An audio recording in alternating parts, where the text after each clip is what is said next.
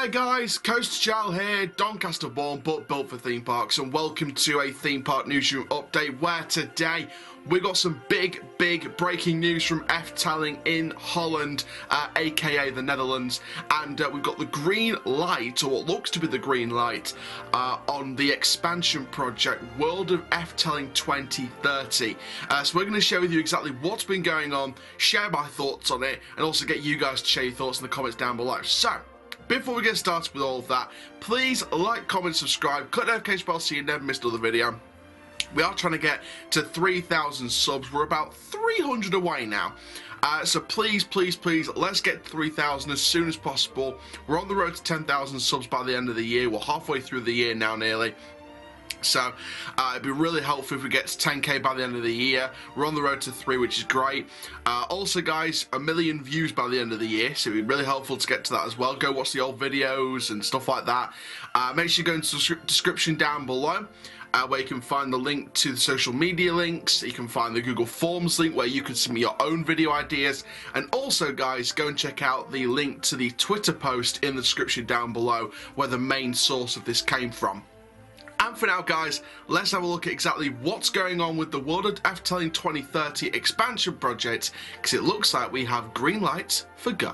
So this has been reported by Raad van State, which is a, uh, I guess, a Dutch company um, like in terms of like planning, like a planning permission uh, company. I'm, I'm, only assuming here. I don't know much about the company, uh, but uh, I basically translated their most recent tweet, and basically in terms of the project, uh, they said no objections were lodged against the so-called recovery decision of the municipality of Loon op Zand for the expansion of the Efteling after an interim decision by the Administrative Jurisdiction Division.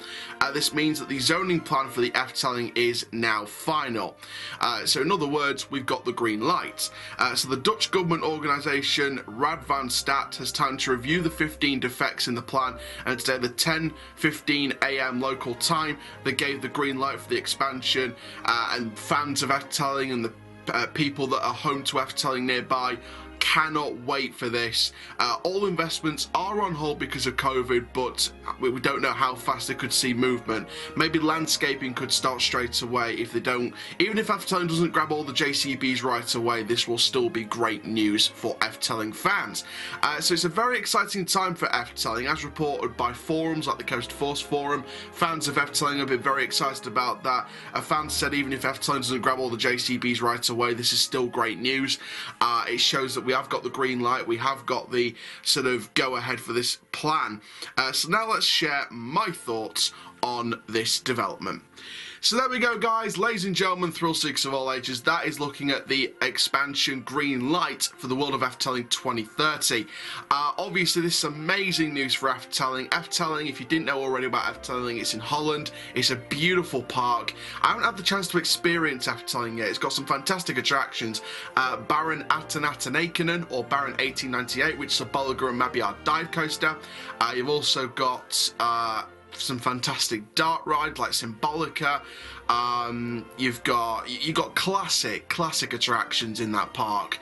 Uh, Python classic. Uh, they used to have the bobsleigh coaster, the Bob.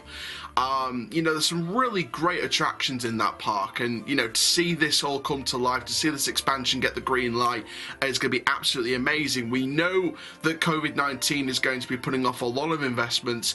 Uh, however, at least F Efteling have got the green light to expand. We know this expansion is going to happen.